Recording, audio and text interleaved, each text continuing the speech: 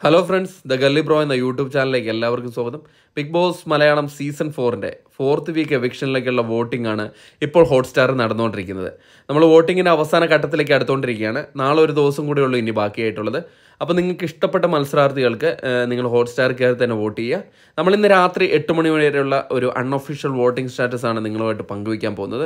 നാളത്തോടെ നമുക്ക് എലിമിനേറ്റ് ആവുന്ന ആളുടെ ചിത്രം ഏകദേശം വ്യക്തമാവും.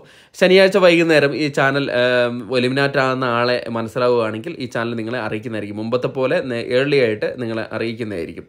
ഏതായാലും ഇപ്പം അൺഒഫീഷ്യൽ വോട്ടിംഗ് സ്റ്റാറ്റസിൽ ഒന്നാം പൊസിഷനിൽ നിൽക്കുന്നത് ഡോക്ടർ റോബിൻ തന്നെയാണ്. തുടക്കം മുതലേ ഡോക്ടർ റോബിൻ ഒന്നാം പൊസിഷനാണ് അത് നല്ല വോട്ടുണ്ട്. ഒമ്പത് ലക്ഷത്തി അറുപത്തി അയ്യായിരത്തി എഴുന്നൂറ്റമ്പത് വോട്ടാണ് ഡോക്ടർ റോബിന് ലഭിച്ചിരിക്കുന്ന വോട്ട്. ഡോക്ടർ റോബിൻ ഒരു തവണ പോലും ചെറിയ വ്യത്യാസത്തിന് പോലും സെക്കൻഡ് പൊസിഷനിലാവുകയോ തേർഡ് പൊസിഷനിലാവുകയോ ചെയ്തിട്ടില്ല. രണ്ടാമത്തെ പൊസിഷനിൽ ബ്ലസ്ലിയാണ് തുടരുന്നത്.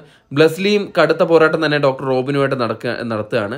ഒമ്പത് ലക്ഷത്തി മുപ്പത്തി അയ്യായിരത്തി അറുന്നൂറ്റമ്പത് വോട്ടാണ് ബ്ലസ്ലിക്ക് ലഭിച്ചിരിക്കുന്നത്. ബിഗ് ബോസ് ഹൗസിലെ പ്രവർത്തികളോട് തന്നെ തന്നെ ബ്ലസ്ലിക്ക് ഇപ്പം കുറച്ച് വോട്ട് കൂടിയിട്ടുണ്ടെന്ന് തോന്നുന്നു. തുടക്കത്തിൽ തന്നെ അപേക്ഷിച്ച് നല്ല വോട്ട് കയറിയിട്ടുണ്ട്.